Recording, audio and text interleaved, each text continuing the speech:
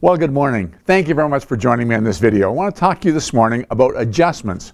That's something we're all familiar with. On every agreement of purchase and sale, on Schedule A, we say the buyer agrees to pay the balance of the purchase price. We say how they're going to pay it as certified check, bank draft, e-transfer, and then we add subject to adjustments. Now, typically when we think about adjustments, we're thinking about taxes. And as you know, if you, as a homeowner, if you're paying your taxes, you're either paying it when you're billed by the municipality, which is probably four times a year, or you have equal monthly payments. If it's equal monthly payments, it's over 10 payments, and you get a break the last two months of the year. But what it means is whenever you pick any date on the calendar, you're either ahead of the game or behind the game as far as your taxes are concerned.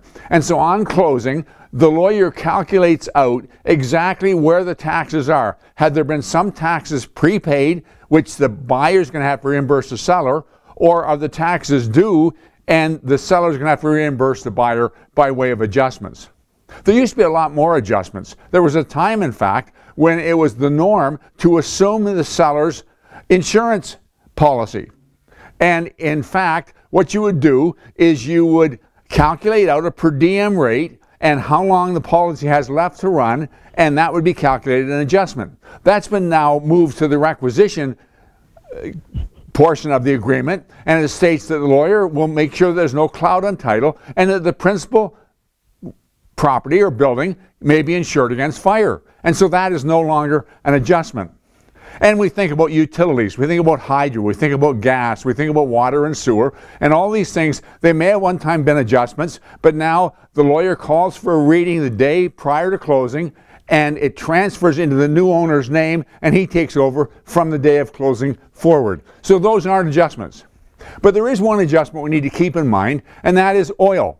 Now, we're not seeing that so much because more and more homeowners over the years have elected to change their heating system from oil to gas. And so we're not running across it very often. But when we do, an adjustment for oil is very, very important. What happens is you got a 200 gallon tank in your basement to hold oil. And it's not fair that the buyer should get some of the oil that the seller's paid for. But how do you know whether there's 30 gallons, 50 gallons, or 150 gallons in that tank? How do you know how much to charge the buyer? So what is the custom is the lawyer calls the seller just prior to closing to fill the tank right up to the top, and then the buyer is charged for 200 gallons usually of oil. Well, that's a fair chunk of change. These days, with oil prices being what it is, you're going to get an eight or nine hundred dollar adjustment uh, on your closing when you sit down with your lawyer for oil heating. And uh, when, when buyers are stretched to the limit to buy a new home, uh, they're very concerned about all their costs, about the legal costs, about the land transfer costs, and so on. And to get hit with an unexpected $800 bill is really a challenge.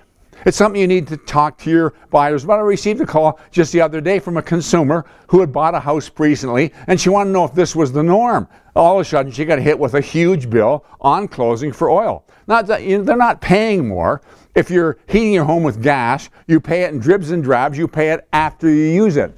If you're heating with oil, you pay it in a big chunk and you pay it before you use it. So it's the way the bill comes in, but it's still a shock, a sticker shock to the system.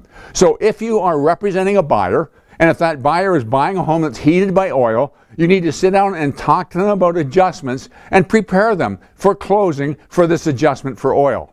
Now, let me say one other thing when we're talking about oil, heat, adjustments, and so on. When you're having this conversation with your buyer about oil, ask them if their intention is to stay with oil heat or if they're going to convert to gas. See, often the buyer has every intention of converting to gas. If you're going to change your system from oil to, to gas, you don't want to have 200 gallons of oil sitting in that tank.